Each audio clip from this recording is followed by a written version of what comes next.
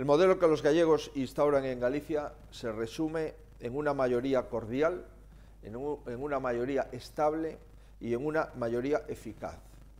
Una mayoría que se concibe como un medio para garantizar mejor la convivencia y la cooperación y no como un fin en sí mismo.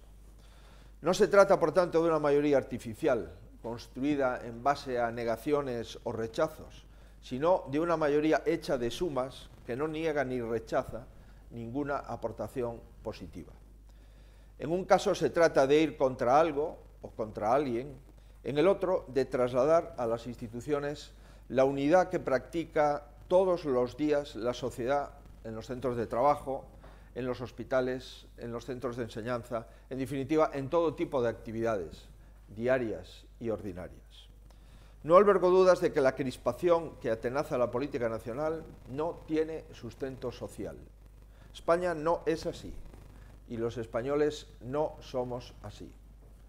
Basta con alejarse del cráter del volcán y acercarse a la mayoría de las comunidades autónomas para respirar un ambiente distinto.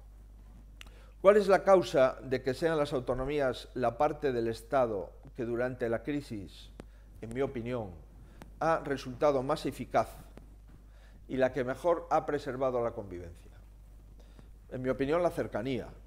Somos administraciones próximas, los presidentes eh, autonómicos gestionamos el día a día, visitamos todos los días los problemas de la gente, Participamos de manera habitual en los éxitos y en las dificultades de los conciudadanos.